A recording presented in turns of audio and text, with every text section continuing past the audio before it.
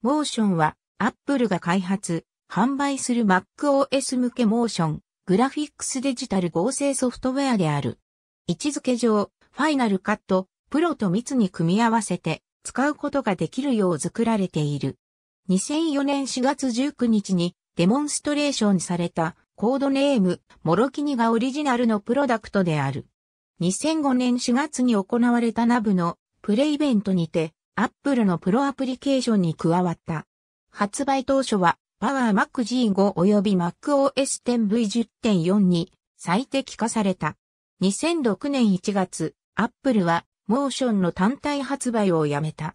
ラスベガスで2007年4月15日に行われた、 NAB においてアップルは、モーション3を、ファイナルカットスタジオにスイートに含むという発表を行った。モーション4は、ファイナルカットスタジオ3スイートの一員として2009年7月23日に発表された。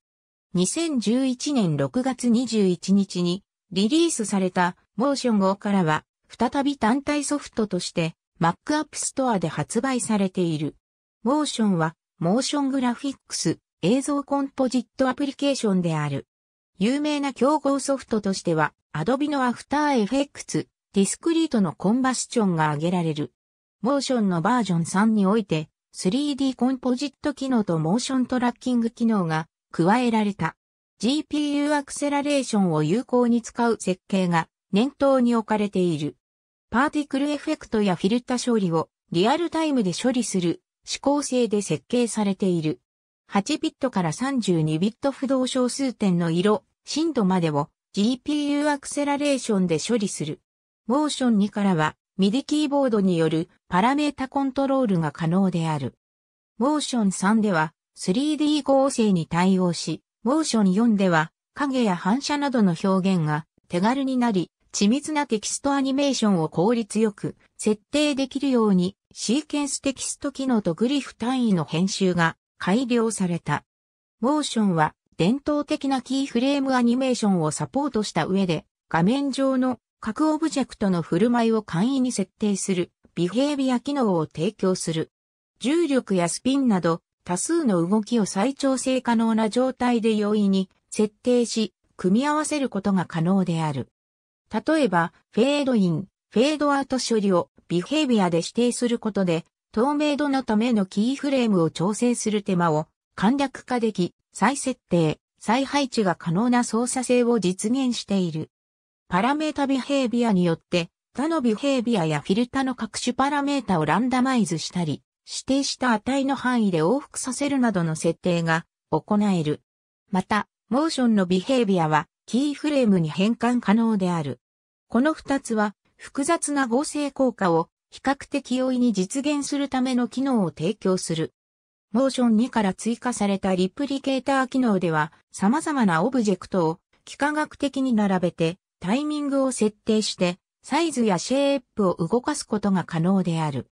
モーションのテンプレートには、トランジションエフェクトパターンとして、再利用可能なリプリケーターパターンが豊富に含まれている。パーティクルエミッターは、様々なオブジェクトを画面上にばらまく効果を与える。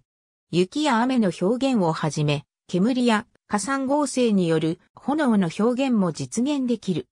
3D 空間での表現効果も設定できる。モーションでは、Apple の他のソフトウェアでも見られるユーザーインターフェース HUD が採用されている。